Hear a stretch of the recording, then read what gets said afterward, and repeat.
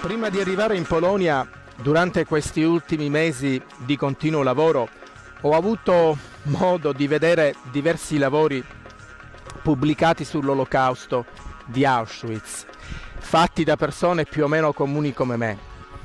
Non è stato facile per me ricostruire immagini e commenti di tutto ciò che è successo in quell'epoca.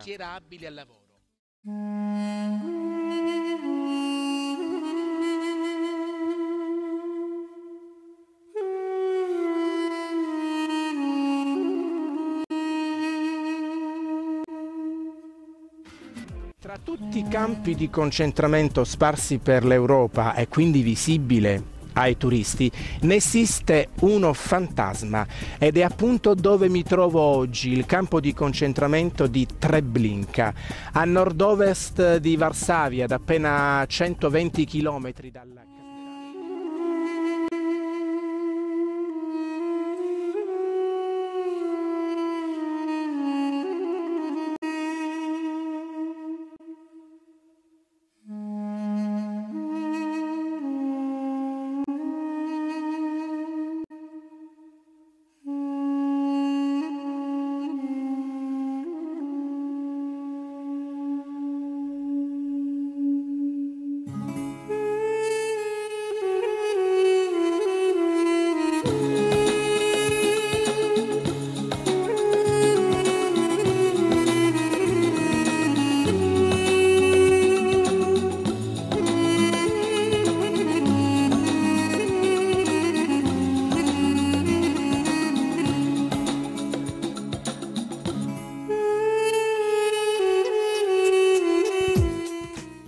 realtà da queste parti il periodo della seconda guerra mondiale è difficile rimuoverla dalla mente. Ed è proprio un personaggio di quei tempi che fa ricordare quanto accanimento ci fosse nelle file naziste nei confronti di creature innocenti. Mi riferisco chiaramente a bambini.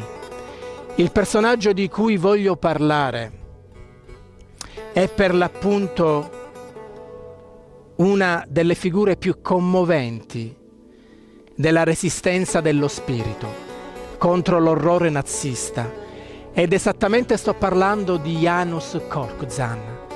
Ce l'ho a fianco a me.